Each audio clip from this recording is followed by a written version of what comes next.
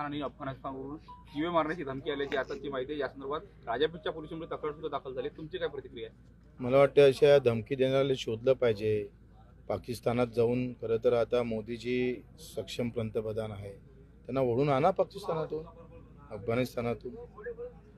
त्यांचं सरकार असताना एवढ्या पाकिस्तान आणि एवढ्या दुरून जर धमकी येत असन तर हे मोदी साहेबांच्या केंद्र सरकारवर प्रश्नचिन्ह आहे. मोदी साहेब प्रभावशाली व्यक्तिमत्व या देशामध्ये आहे आणि त्यांच्या नेतृत्वामध्ये त्यांच्या खासदाराला धमकीत असेल तर मग राहायला कुठं कायदा व्यवस्था? आणि ते आंतरराष्ट्रीय स्तरावरच्या धमक्या. मान्य करतो दिल्लीहून आली असती किंवा एखाद्या गावातून आली असती. एकदम पाकिस्तान अफगाणिस्तानहून जर हे येते तर हा मोबाईल कसा गेला? कोण आहे? हे शोधलं पाहिजे सगळं. असुद्दीन ओवैसी याच्यामध्ये असुद्दीन ओवैसी आणि इम्तियाज जलील असल्याची जी माहिती आहे जे आरोप आहे जे रवी राणांनी केला काय? असुद्दीन ओवैसी आणि इम्तियाज जलील याच्यामागे आहे. नाही आता कसं आहे आता हे निवडणूक आहे.